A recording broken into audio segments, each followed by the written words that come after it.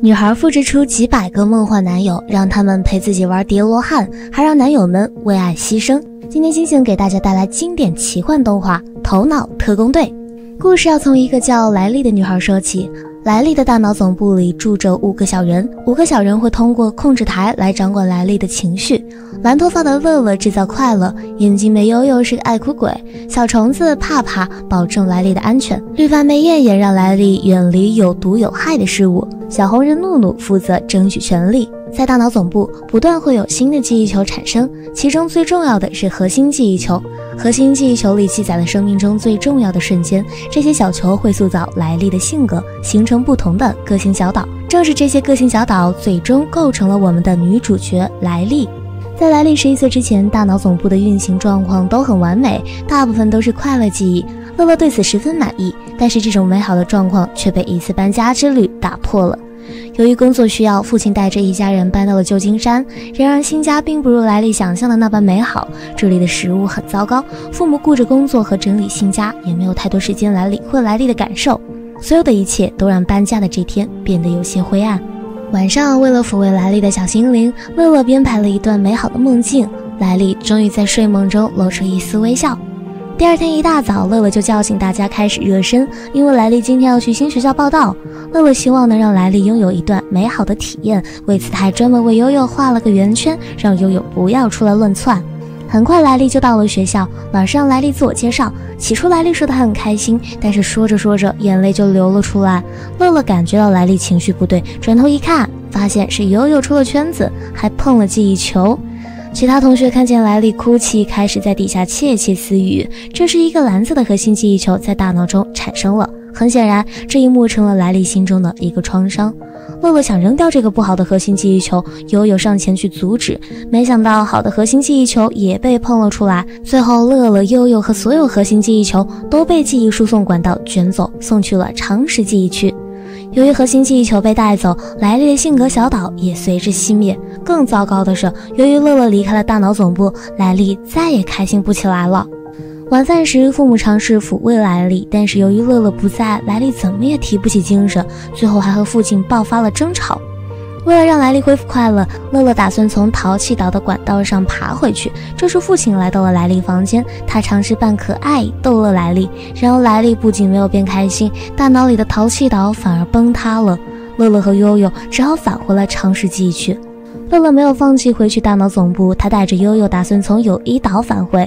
两人开始在迷宫般的常识记忆区穿行，很快他们就遇到了记忆清洁工。清洁工专门负责处理莱利不再需要的记忆球，这些记忆球会被送进填埋场，最后在那里被彻底遗忘。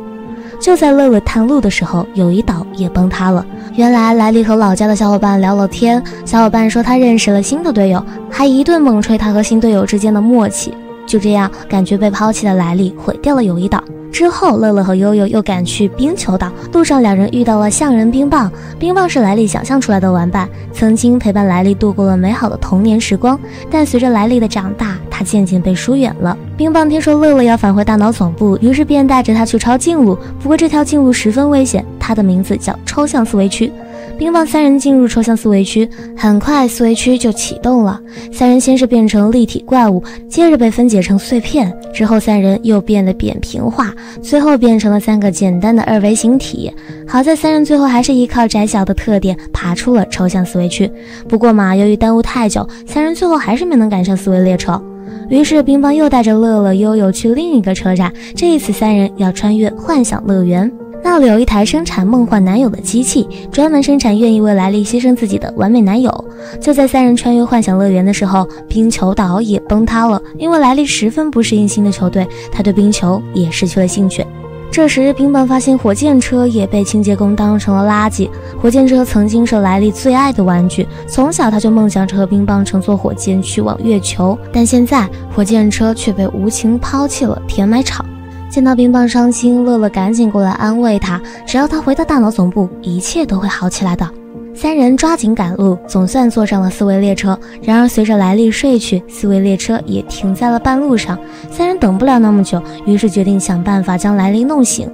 三人来到莱利的梦境剧场，那里正在上演着白天那些不好的记忆。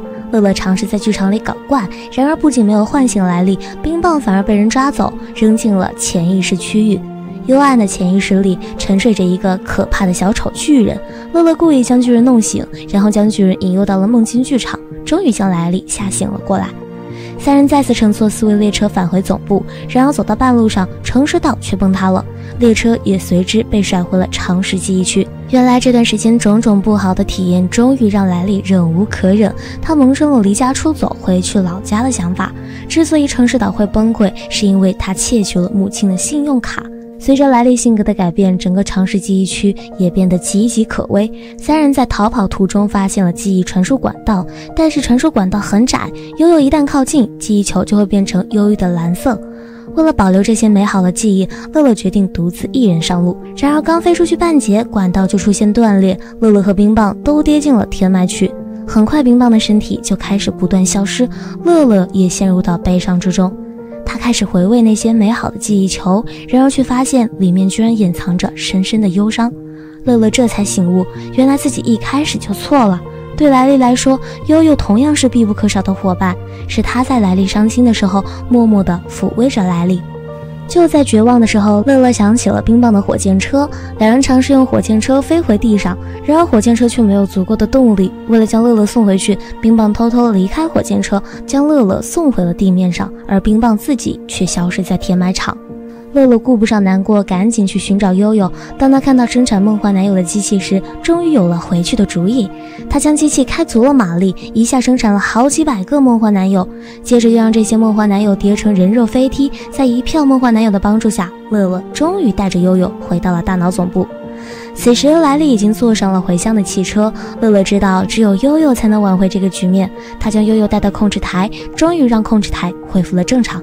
现实中的莱利也仿佛想通了什么，终于赶在最后一刻下了车。父母见到失踪的莱利回了家，没有去责怪他，而是将莱利紧紧拥入了怀抱。这时，一颗夹杂着黄色和蓝色的核心记忆球产生了，记忆球随着输送管道远去，最后形成了新的家庭岛。